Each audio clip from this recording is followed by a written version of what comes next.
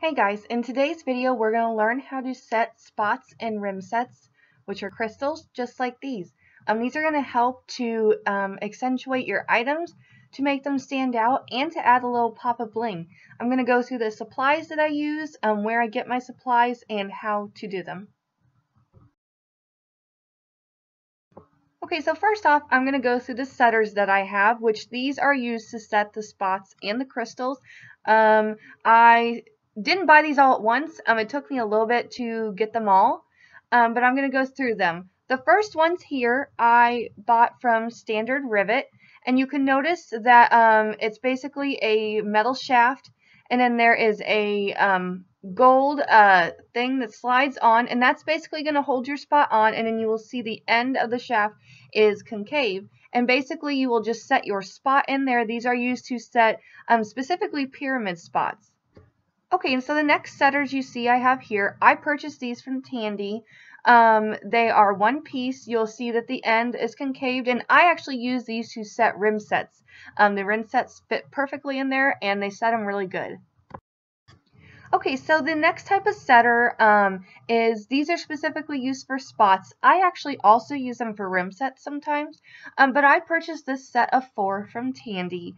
Um, they do sell them uh, separately, so you don't have to buy them all four together. But you'll notice that the uh, tubular thing at the end is actually attached. Um, and what you'll do is just set your spot in there. The end is concave, and it will fit spots and rim sets. Then um, if you buy the set of four, you will get this little holder like this. And you will see these little spots here. These are actually made for you to set your spots on. It will bend the backs um, in. Okay, and then here is just a simple metal spot, a silver spot. You can purchase these from Tandy, Standard Rivet, Springfield Leather, wherever you want. Okay, so now we're going to set one of our spots. You'll see we we are going to take one of our setters from Tandy. This came in a set of four. We're going to slide our spot in there, and you will see it is basically upside down with the uh, spike sticking out. Okay, so now once we have the spot in there, you will notice that the setter will hold it in even if you turn it upside down. That means that the spot is in the correct size. Then we go ahead and put it on the leather, tap it in, and then it is good to go. Now, the next step is to bend the prongs backwards on the back. And you will see that I did this here. I'm just basically taking the um, end of my setter and I'm just basically bending those over. Okay, so the first spot we just set was a quarter inch spot.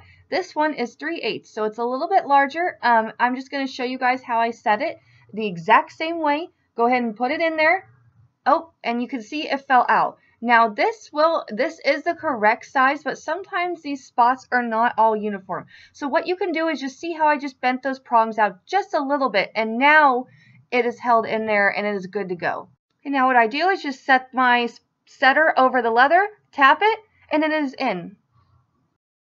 Okay, and now I'm just going to set the back just as I did the other one, bend the prongs over.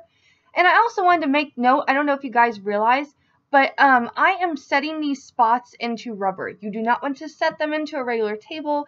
The prongs will not set correctly. So you want to have a soft surface like a rubber so you can drive them into it, pull them out, and then push the prongs back together. Okay, next we're on to rim sets. Um, I purchased all of my rim sets through a company called Dreamtime Creations, and they are located here in Missouri. Um, I always use Swarovski crystals. I never use acrylic um, just because they have a little bit more shine. So what I'm going to do is take some super glue, add a little, little dab to the back of this, and I'm going to press the rhinestone down onto the leather. The reason why I do this is so when I do the setting, the rhinestone does not move. Um, some people ask me, well, how do you get it to stay like that? This is how I do it. Um, so I go ahead, glue it to the leather, set the rim set into the setter like this, Actually, sorry, I got ahead of myself. I set the rim set onto the leather like this, place the setter over it, and give it a good tap, and it will drive it into leather. Now, you will notice that I am setting this rim set into um, this upholstery leather like this. Um, you have to be careful when you're setting these rim sets that you have long enough prongs so you can turn them over on the back. Um, these specific type of rim sets I have right here. I do have longer prongs, but these are specifically made to go into a thinner leather, so you just want to make sure. And again, I push the backs over, or the prongs over like I did on the spots, and now you will see it's perfectly set, the rhinestone isn't moving, and it has great shine.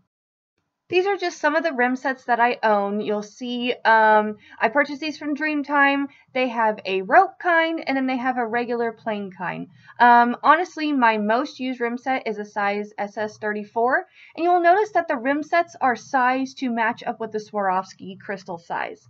Um, they go all the way down to SS5 or all the way up to SS40 or SS42.